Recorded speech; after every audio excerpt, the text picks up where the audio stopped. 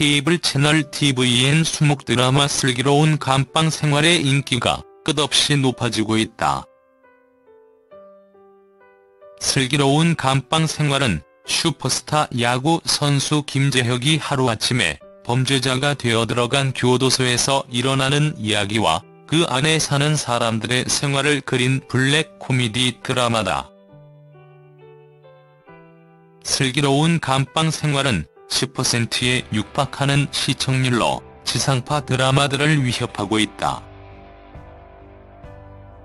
앞서 슬기로운 감방 생활은 응답하라 시리즈를 히트시킨 신 PD의 신작이었으나 톱스타 없는 캐스팅, 감옥이라는 소재 등으로 우려와 기대를 동시에 얻었다. 신 PD 또한 시청자들의 사랑이 기대 이상이라고 털어놨다.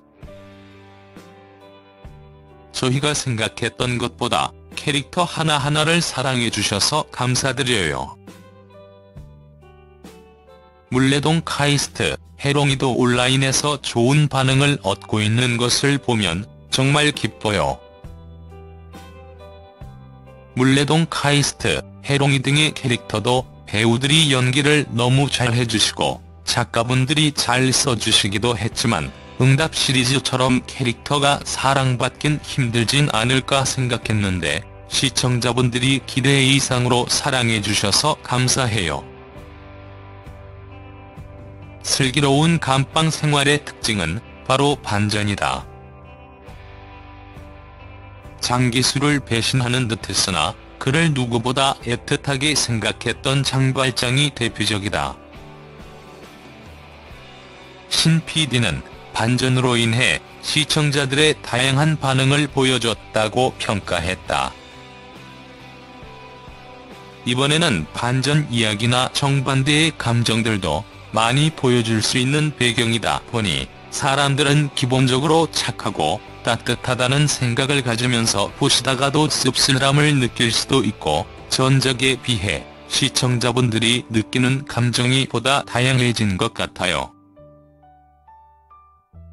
연민, 따뜻함을 말씀하시는 분들도 많지만 한편으로는 씁쓸함, 장발장 캐릭터처럼 사람마다 가지고 있는 또 다른 면을 보시면서 또 다르게 생각하는 계기, 본인을 돌아보는 지점들도 전작보다 많아져서 그 지점에 많이 공감해 주시는 것 같아 기뻐요. 캐스팅 역시 반전이었다. 츤데레 아버지로 대표됐던 성동일은 인자한 얼굴 뒤 뒷돈을 요구하는 교도관이 됐고 악역 이미지가 강한 정웅이는 욕을 달고 살지만 누구보다 죄수들의 안위를 걱정하는 교도관 역으로 분했다. 신원호 PD는 반전이 주는 재미를 의도했다고 설명했다. 캐스팅을 하다 보니 분명히 배우가 갖고 있는 이미지라는 것이 있었어요. 시청자들도 아, 저 배우가 나오면 분명히 이런 역할일 거야 하는 기대치와 예상치가 존재했어요. 그런 점이 어떤 부분에선 쉬운 캐스팅을 하게 만드는 요소였어요. 이런 역할은 이 배우가 잘해 하는 쉽게 갈 수 있는 요소이기도 했어요. 하지만 이런 것들을 한번 겪어보면 재미있지 않을까 하는 생각이 많이 들었어요. 어머, 정웅인이 악역이 아니었어? 했을 때 그런 반전에서 오는 더 큰 파급력, 체감으로 오는 반전이 훨씬 더 크면 재미있을 거라 생각했어요. 이 같은 반전에서 성동일의 역할이 컸다. 신 PD는 응답하라의 잔상을 지우기 위해 응답하라 출연진을 배제하려 했으나 고심끝 성동일에게 조주임 역을 맡겼다. 조주임 역할을 성동일 배우가 아니라 다른 배우가 했으면 이 정도로 큰 임팩트가 없었을 거라 생각해요.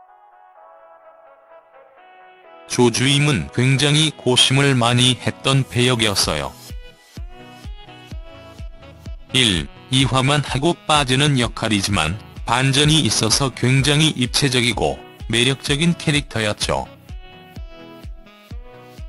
응답 시리즈 배우들이 나오면 차별화가 되지 않을 것 같아 배제하려고 했었지만 결국 다시 성동일 배우에게 부탁했어요. 응답 시리즈의 따뜻한 아빠 역할을 했던 성동일 배우에게 시청자들이 갖고 있는 기대치를 반전으로 꺾음으로써 더 큰 재미로 다가갈 수 있는 지점이 생겼어요. 살짝 감추고 살짝 꺾어서 생기는 반전과 그런 스토리로 시청자분들에게 더 큰 재미를 주고자 했어요. 응답하라 시리즈의 주역들도 슬기로운 감방 생활을 응원하고 있다. 응답하라 1994에 출연, 큰 인기를 모았던 유연석과 손호준은 촬영장에 커피차를 대동하고 등장, 끈끈한 의리를 드러내기도 했다. 얼마 전 응답하라 1994에 출연했던 유연석과 손호준이 세트장을 방문해 커피차를 선물했어요. 항상 응원을 전해줘요. 슬기로운 감방 생활은 이제 단 3주 후면 종영한다. 화제 성과 시청률 모두 잡은 결과 새로운 시즌에 대한 요청도 끊이지 않고 있다. 신 PD는 하고 싶은 이야기가 있을 때 새로운 시리즈가 가능하다는 말로 여지를 남겼다. 슬기로운 감방 생활이 응답하라에 이어 신 PD의 또 다른 시리즈물이 될 수 있을지 지켜볼 일이다. 시리즈는 이번 드라마가 끝나봐야 알 수 있을 것 같아요. 응답하라 때와 마찬가지예요. 반응이 좋으니까 다음 이야기를 만드는 것이 아니라 하고 싶은 이야기, 더 전하고 싶은 이야기가 있어야 새로운 시리즈도 가능해요. 이번 드라마가 끝나고 이야기를 해봐야 알 수 있을 것 같아요.